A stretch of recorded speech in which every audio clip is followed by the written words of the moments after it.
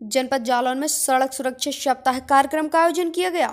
जिसमें आज सड़क सुरक्षा सप्ताह कार्यक्रम का आयोजन दयानंद वैद्य इंटर कॉलेज उरई में संपन्न किया गया,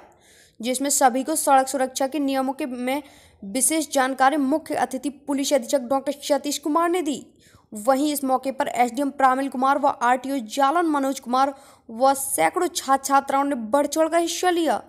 उसके बाद मोटरसाइकिल को रैली की झंडा दिखाकर रवाना किया गया एवं सभी को सड़क सुरक्षा की शपथ दिलाई गई कि हम सभी सड़क सुरक्षा संबंधी नियमों का पालन करेंगे। तो इसमें आप लोगों को क्या संदेश देना चाहते हैं और क्या स्कोर दिए गवर्नमेंट के निर्देश पर ग्यारह से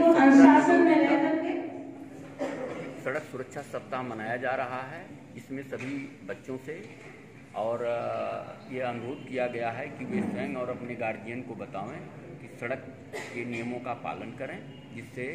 हमारी दुर्घटनाएँ कम हो तो क्या क्या नियम के पालन मतलब क्या क्या पे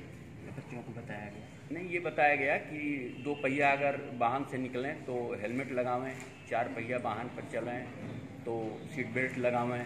शराब पी करके वाहन न चलावें स्टंट आदि न करें यही सब बातें। जालन से यूपी ट्वेंटी फोर न्यूज़ के लिए मनोज शिवहरी की रिपोर्ट।